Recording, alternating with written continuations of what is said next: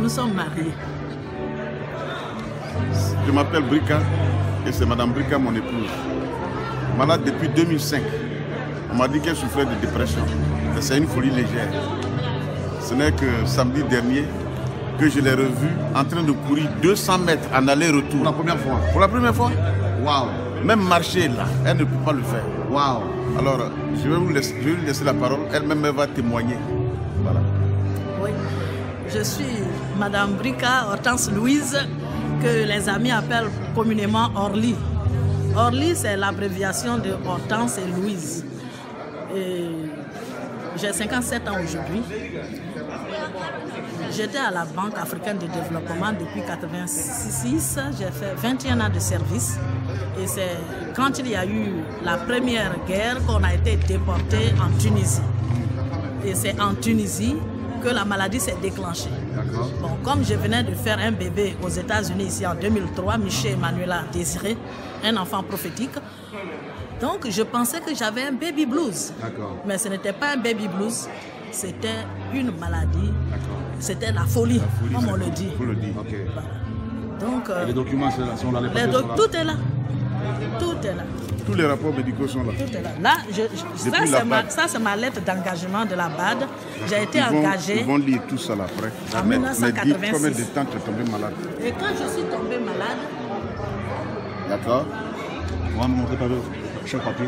Je suis allé la chercher à Tunis sur une civière. Avant. Attends, Et je l'ai laisse-moi- ramené à Abidjan. Avant, avant que tu n'ailles me chercher, j'ai fait des étapes. Donc, euh, euh, on m'a amené à El Arous. Ça, c'est un centre psychiatrique en Tunisie, à quelques 60 km de Tunis, où j'ai passé un mois et j'ai été rétabli. Et je suis allé même au Nigeria pour faire les assemblées annuelles de la BAD.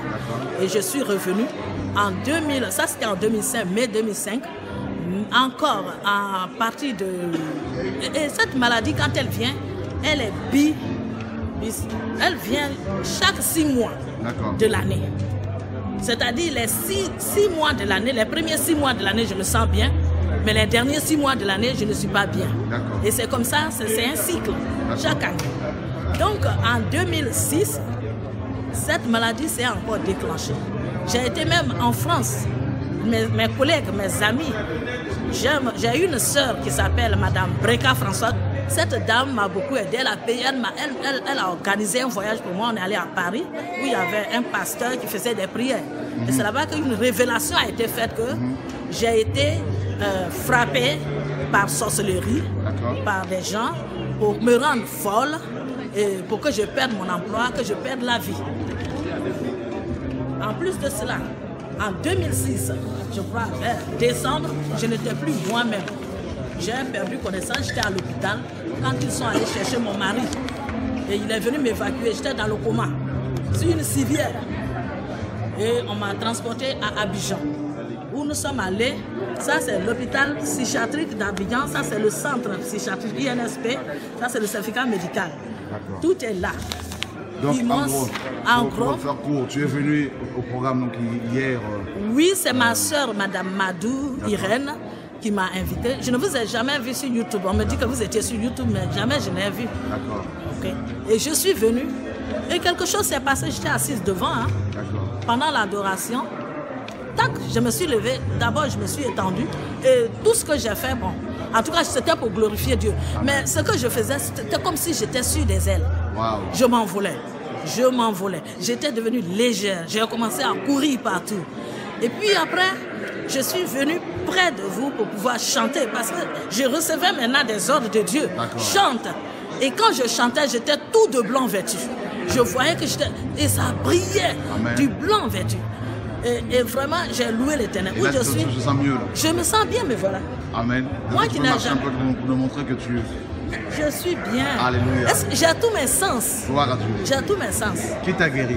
Jésus-Christ de Nazareth, celui-là même que j'ai servi depuis, j'ai été converti ici aux États-Unis en 1983. Gloire à Dieu. Et j'allais à l'église Assemblée de Dieu, Bethel Assemblies of God, à Melbourne, Florida. Donc quand je suis quitté là-bas, au pays, je ne faisais que servir l'Éternel. J'ai même ouvert un centre de prière qui est resté et nous sommes allés à Tunis.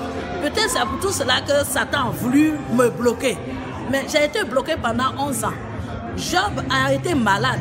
Mais Dieu lui a rendu sept fois plus Amen. quand il a été guéri. Je sais que l'Éternel me donnera sept fois plus. Amen. Parce qu'il a planté sa parole en moi. 11 Je ans, l'ai lu- 11 ans, de- 11 ans après, Dieu t'a restauré. il m'a va bien. restauré. Et aujourd'hui, je veux le servir. Je le servirai. Et j'irai jusqu'au bout avec lui. Amen. Amen.